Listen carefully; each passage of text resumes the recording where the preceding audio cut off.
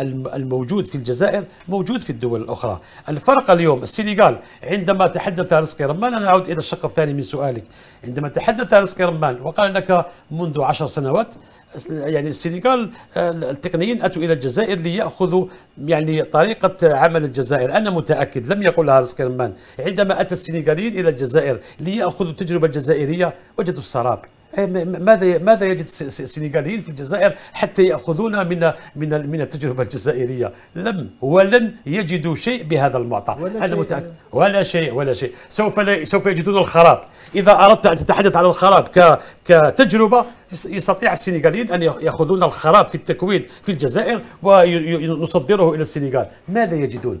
يجدون الشبان ليس لديهم لا بدلات رياضية ولا كرات ولا مؤطرين مكونين ولا مؤطرين علميين. لا يجد أي شيء. ماذا يجد السنغالي في الجزائر حتى يأخذ يعني كتجربة؟ لنقل الحقيقة. لا يجد لا السنغالي ولا غيره في الجزائر أي شيء. السنغالي بدأ يكون بفضل المدارس الفرنسية التي استثمرت في السنغال. بدليل أن آخر دورة للشان. ورمان ذكر Génération. إيه عندما عندما أسدل الستار على الشان نحن ذهبنا إلى إلى منازلنا تباكينا على تضييع هذه الكأس وكأنها هدف. في الوقت السنغاليين صدروا بعد الشان ثلاث لاعبين يعني بالمرة إلى إلى ستراسبورغ يا مصطفى.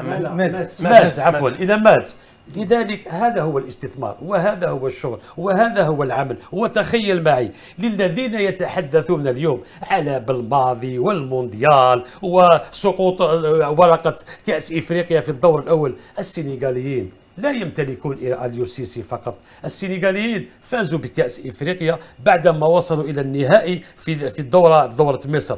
ثم ثم فازوا بالدورة ثم ذهبوا إلى المونديال. لم يتوقفوا عند هذا الحد ولم يتوقفوا ولم يوقفوا مشروع السنغال عند آليو سيسي. قال بين آليو سيسي وبالماضي. ذهب السنغاليين أتوا إلى الجزائر رفعوا الشان. بعد الشان صدروا لاعبين إلى أوروبا. بعد أوروبا ذهبوا إلى مصر. رفعوا الدورة في مصر. واليوم واليوم يتطلعون لرفع هذه الكأس. لنقل الحقيقة السنغال هناك شغل هناك عمل يعني قاعدية في هذا البلد. نحن لم نقم بهذا العمل لم نفكر بهذا العمل. تخيل يا عماد ونحن نتحدث على هذا على الفئات السنية يعني الصغيرة. تخيل عملية المعاينة لم نقم بها إلى حد الآن. لننطلق في أي مشروع. علينا أن نعاين أولا. يجب أن نضع يعني كل المعطيات ونقول بأننا متأخرين بمئة سنة متأخرين بألف سنة متأخرين بمليار سنة متأخرين بشهر بساعة من العمل. نحن لم نقل لم نقم أصلا بهذه المعاينة. ونتحدث على التكوين. قبل التكوين علينا أن نعاين علينا أن نضع مرآة ونقول نحن غير موجودين. نحن لسنا أهل للتكوين بهذه المعطيات.